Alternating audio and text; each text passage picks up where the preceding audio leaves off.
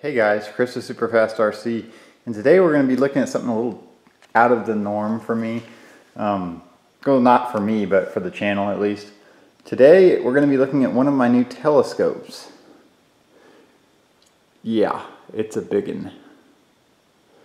Okay, well let's just start off. This is an Orion Telescopes XT8 Plus Dobsonian Reflector Telescope, or also known as Newtonians. Um, this is an 8 inch telescope. What I mean by 8 inch is it is an 8 inch. This telescope right here, it's kind of tall, so I'm kind of short. Well, here we go.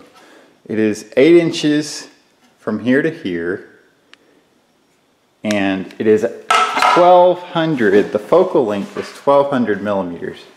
So if you know anything about telescopes, um, you know that uh, focal length and your eyepieces, you know, contribute to how much multiplication as far as your zoom goes.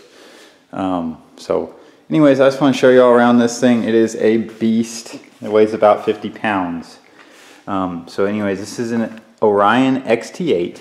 So they send you this nice manual and it shows you exactly how to, you know, put it together and it takes about 30 minutes. You know, if you're doing RCs, you ought to know how to put something like this together. So very fairly simple. Um, like I said, it's very it's a heavy telescope. It's about 50 pounds, but it's not small. Um, so here they just give you some. This is some you know marketing material. More telescopes here. You know some cheaper models. They also give you a download code uh, for their Starry Night um, computer program, which is pretty cool. I've used it. Um, very very helpful as far as locating things in the night sky. You can also get an iPhone app not from Orion, but you know, there's plenty of iPhone apps out there. You know, warranty information, um, call us, tech support, um, accessories here, Barlow lenses, stuff like that. One of the things I really would recommend that you buy if you're going to get into a, a large reflector, any reflector telescope, is going to be Orion's or really anybody's. There's some cheaper ones, but I bought the Orion, the laser collimator it really helps you out. And I've gotten into the habit every time I set this thing out because it is heavy and it's hard to move and you know, you might bump it. While you're moving it around, I just, before I look at anything, I go ahead and laser collimate. It's really easy. So um, once again, let's take a back up here and just get the scale of this thing. It is a monster. Um, like I said, it's 100, uh, 1200 millimeters long. So um, anyways, so let's get into the included accessories and see exactly what this thing's gonna do. The Plus model, see the, the Plus, has over the regular classic Dobsonian XT8. They give you this, this is a awesome lens. It is a two inch lens and it is called the Orion Deep View 28 millimeter lens.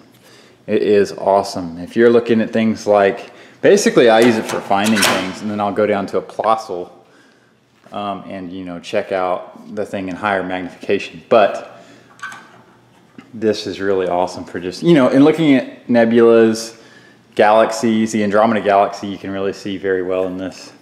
So um, yeah, it's really cool. Also the focuser on this one, it's the one off of their XT10, I believe. Uh, it's a two inch focuser with a fine focus knob right here, which really helps you bring in, especially when you're high magnification with Plössls, you know, really uh, bring in the sharpness of the object you're trying to look at. So that's really cool. Um, they also have a red dot sight. A red dot sight, if you don't know, basically, if you play Call of Duty, you'll know what a red dot sight is. It's the exact same thing. And if you look down in there, there'll be a red dot. Well, there it is right there. And that really helps you to just locate the object that you're trying to look for. And then you can pull it in with the deep view and then go down to a Plössl if you want to go that route. Another thing on the Plus, it gives you these thumb screws for collimation instead of the Allen heads like on the Classic. Look down there, you can see the large primary mirror. Hello. Um, yeah, it, it is a monster. On the Classic, there's also, this is an upgrade over the Classic. These are tension knobs that have little Teflon rings and they really help to give the telescopes a more granular control, I guess you'd say and you can adjust that however you want. If you want it to stay a little stiffer, or you can loosen it up and it'll really move for you.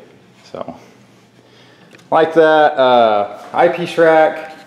Um, this comes with the deep view, like I said. And if you want to change up to this, they give you a 10 millimeter Plössl, which is, of course, a high quality lens from Orion. Um, this will really help you pull in the rings of Saturn, uh, cloud, cloud bands on Jupiter, and you know, if you want to look at further out nebula and stuff like that, that'll really do it. Um, they also give you an X2 Barlow lens. Uh, it's a shorty, which is really nice because it doesn't, you know, it's already a tall telescope, and you really don't want to be having a huge Barlow sticking out and make it hard for you to, you know, crane your neck in there. And of course, since it's a two-inch focuser, and uh, two, they give you a little step down here to a regular uh, Plössl, you know, one and a quarter style lens. Um, other than that, there's not a lot else I can tell you. Other than I'm really, really impressed with this telescope. Just this morning I was outside looking for uh, Uranus, or Uranus, sorry. Anyways, um, but yeah, it's a very, very large telescope and it really, really is, the images it is able to pull in, the light is really awesome.